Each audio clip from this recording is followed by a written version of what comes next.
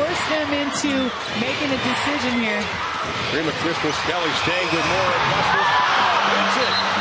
4.3 to play. Minnesota has taken the lead. They were going to deny Maya tight, and you see immediately off of this floppy action, the second curl, and, and Seimone Augustus got this same shot. She said, first of all, he's incredibly smart. Sometimes you don't realize that because of that rough exterior, but he's incredibly intelligent.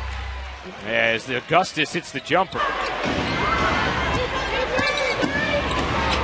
They're calling the foul on Karima Christmas Kelly. That is her fourth personal foul. 30 seconds here in the second quarter. 10 seconds on the shot clock. Augustus. Jumper is good.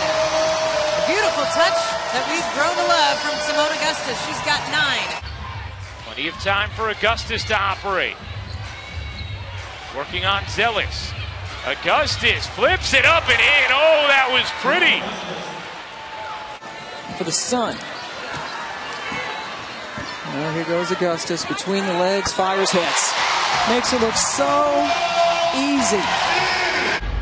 She's having quite the game. 13 points in 12 minutes of play, and she's going to make Maya Moore defender. Seimone Augustus with the rainbow. Now Sandy Brondello giving Cayla George an opportunity to play because that Augustus spin move. Again, wheeling inside. Siemens, why I think Fred has such an experienced group on the floor. And then Augustus with position on the inside, and they pull within one. Is on the drive. Brunson to Whalen. And from the baseline, Seimone Augustus loves that spot. battle team. A lot of times the King doesn't take too kindly to that, do they?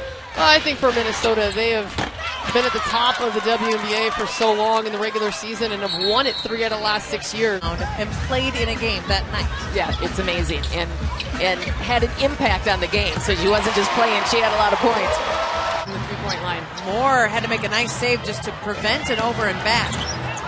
Augustus, Seimone Augustus gets the two more. She's into double figures with 11.